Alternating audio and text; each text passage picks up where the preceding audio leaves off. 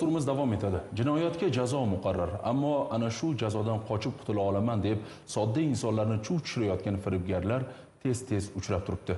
Ayniqsa kiber firibgarlar tomonidan ijtimoiy tarmoqlar yoki sms xabarlar orqali turli havolalarga kirishga chorlash va buning natijasida shaxsiy ma'lumotlarni qo'lga kiritib uning karta hisobidagi pullarni yechib olish holatlari ko'p kuzatilyapti. Mavzuni sevinch azamatova davom ettiradi. Instagramda faol qizlar va onlayn savdoni xush ko'ruvchilar uchun sun'iy intellektdan ajoyib yangilik. Videoni yo'qotib qo'ymaslik uchun saqlab oling va bizga obuna bo'lishni unutmang. Zo'r yangilik kutayotgan bo'lsa kerak kuzatuvchilar. Endilikda kiber jinoyatchilar foydalanuvchilarning suratlaridan noqonuniy va g'araz yo'llarda foydalanishga o'tishdi. Ularning shaxsiy ma'lumotlarini amallab qo'lga kiritishadi va plastik kartalaridagi barcha pullarni yechib olishadi.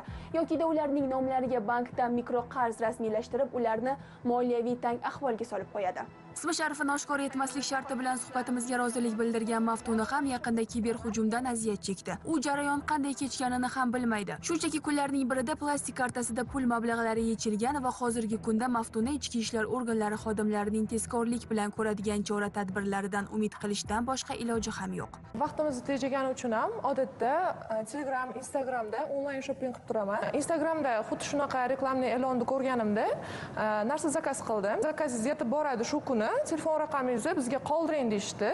Qoldirdim. Hamda menga telefon qilishdida sizga telefoningizga kod boradi. O'sha telefon e, kodni menga aytib bering deyishdi.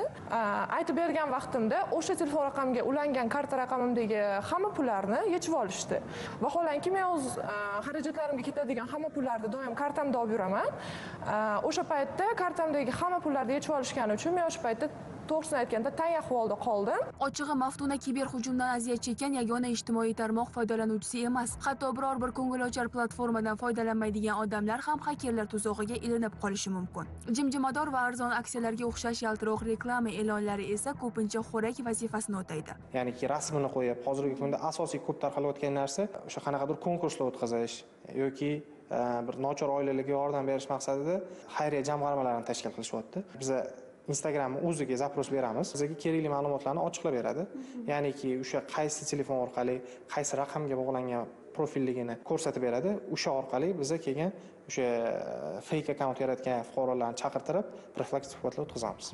Bugun ko'pchilik kiber jinoyatdan aziyat chekmoqda. Shu bois ham yurtimizda ayni kunlarda kiber madaniyatni yuksaltirish oyligi targ'iboti o'tkazilyapti. Navbatdagi manzil esa poytaxtimizdagi ishga marhamat mono markazi. Achinarlisi o'zganing mablag'iga ko'z tikkan xakerlar uchun jabrdiydaning ijtimoiy yoki jismoniy imkoniyatining ahamiyati yo'q. Aksar hollarda bolalar ruxsatsiz telefondan foydalanishi va ehtiyotsizlik tufayli xakerlar yuborgan biror bir havolani ochishga harakat qilishi. Ba'zan esa nogironligi bo'lgan shaxslarning imkoniyati cheklangani xakerlarga juda qo'l keladi. Imkoniyati cheklangan fuqarolarimiz bor.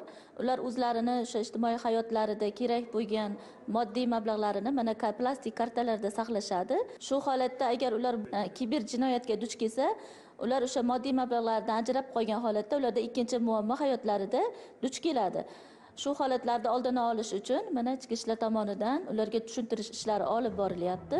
Shuningdek o'tkazilgan targ'ibot tadbiri davomida kiber jinoyat xakerlar hujumiga duch kelganda eng birinchi bo'lib amalga oshirilishi lozim bo'lgan tadbirlar xususida ham ma'lumot berildi. O'zingni ehtiyot qil qo'shningni o'g'ri tutma. Ushbu maqol hozirgi zamonaviy hayot uchun ham o'z ahamiyatini yo'qotmagan. Sevinch azamatova oybek mahkamov zamon informatsion dasturi uchun